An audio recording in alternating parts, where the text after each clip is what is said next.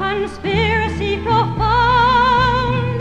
With fanatic dedication, they work while others sleep until the structure totters and collapses in a heap. Their strength is in their patience, a little at a time. Who'd think so small an insect could cause so great a crime?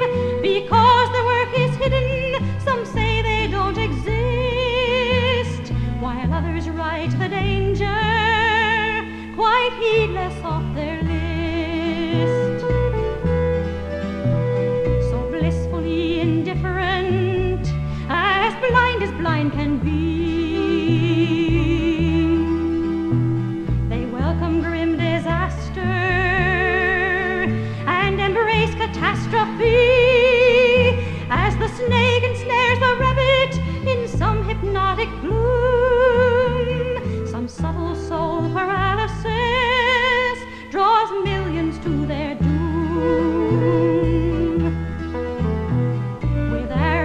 Assurance, this challenge they have hurled.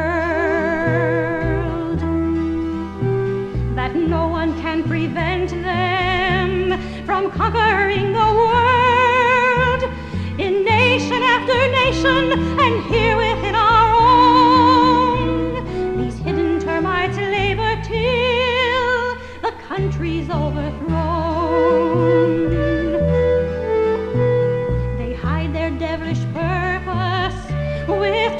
and wiles. They mask their murderous malice with innocence and smiles. Disregard this hidden danger, neglect this plague to